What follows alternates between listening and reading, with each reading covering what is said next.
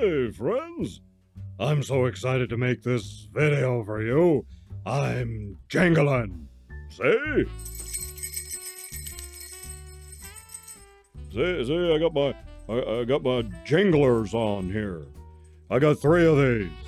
You should see where the third one is. Wh- wh- What?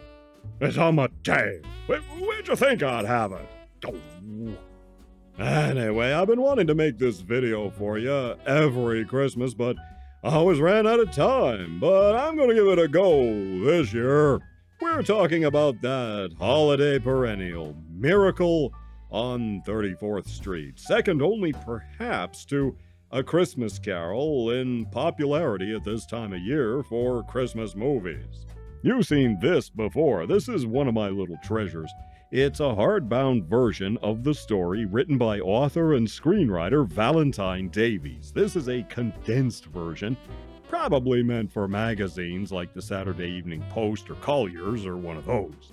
And the book was published in 1947 to coincide with the release of the motion picture we all know and love, Miracle on 34th Street. The story basically goes like this.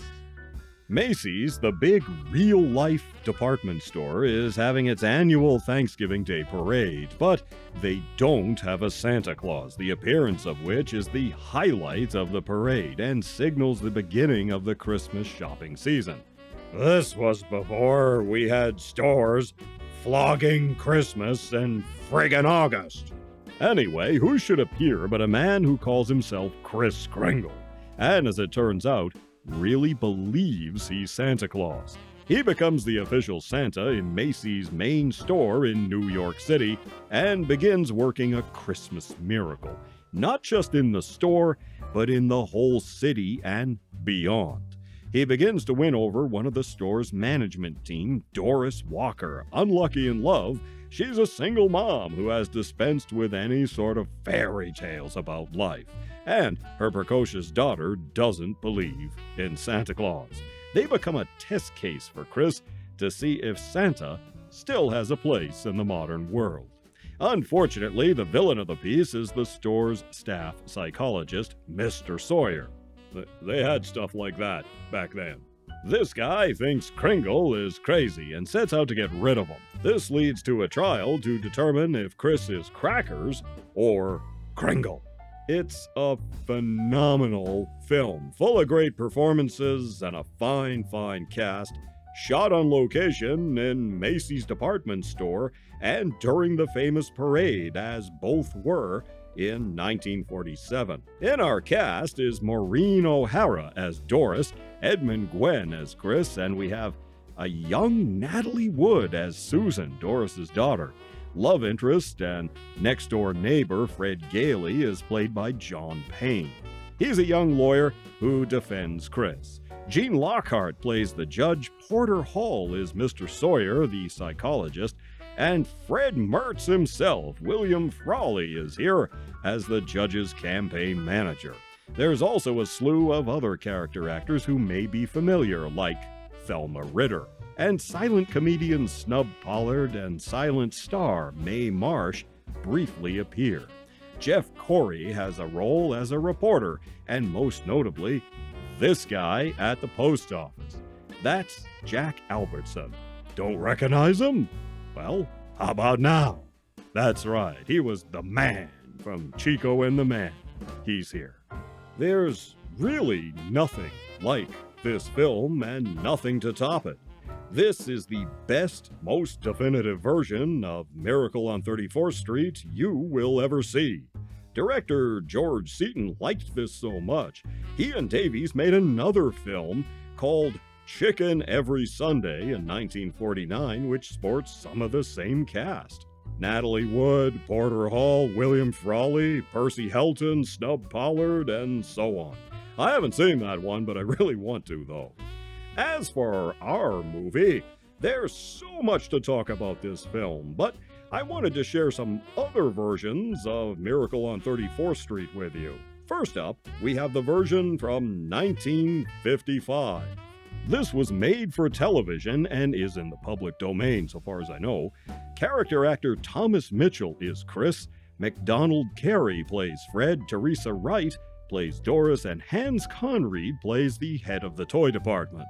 Ray Collins from Perry Mason is also here, and our old friend Whit Bissell from the Star Trek Tribble episode is also on hand. Being made for TV, this one is rather condensed and lacks some of the substance of the film.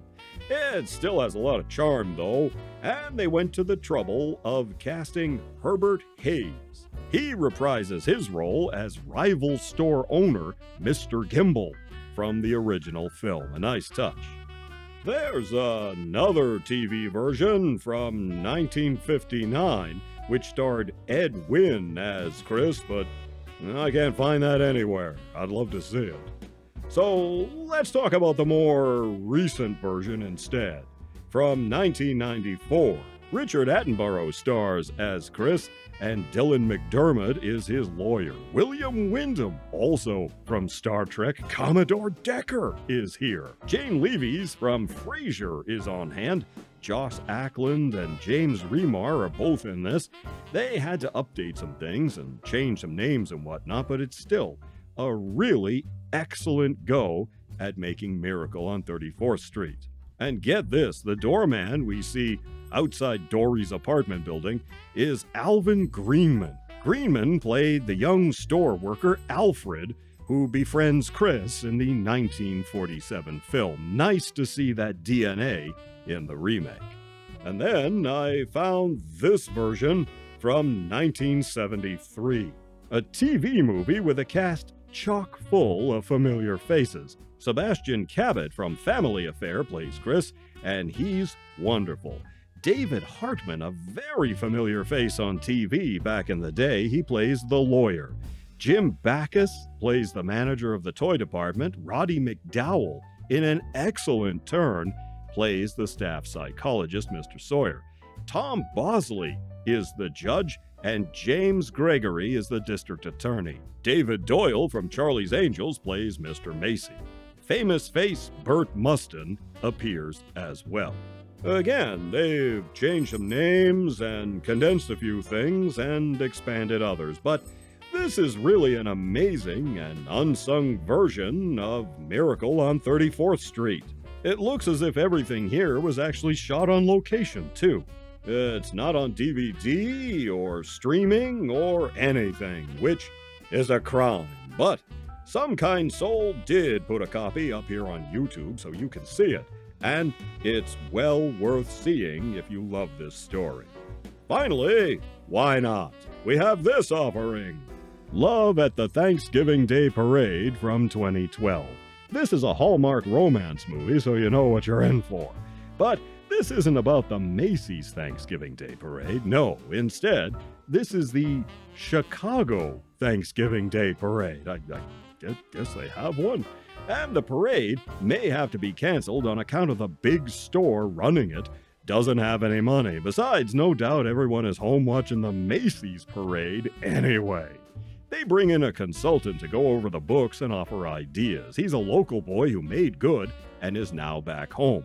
This retro chick is the parade organizer. Not Doris Walker loves the parade and all of its traditions. Not Henry Cavill is a bottom line money man type. Naturally, not Henry Cavill and not Doris Walker lock horns and then fall in love. No spoiler there. Notice not Doris Walker wearing these retro looking outfits. I guess they wanted to evoke the more famous love story from 1947's Miracle on 34th Street featuring the Macy's Parade. That's why the main character is conveniently all into retro stuff, so she can wear these retro outfits. She's played by Autumn Reeser. She was on the OC, among other things. Not Henry Cavill here. The love interest is played by Antonio Cupo. He's done several Hallmark movies. I think he could have gone further than that, though. Both are very good in this, and I like this one. It's sweet, it has a nice jazzy soundtrack, and while mostly shot in Toronto, they do have some nice location footage of Chicago to set the place. It's not scary Chicago, but sitcom nice Chicago. The couple has good chemistry and the story moves along nicely. The retro chick is a little quirky, and for what this is, it was very enjoyable. So, there you go. Miracles can happen. I hope your Christmas is happy and not crapper. Boy, they, these jinglers, they're a little annoying, aren't they? Get, get, get off me. Get, get, get off. Get, get off me. Get.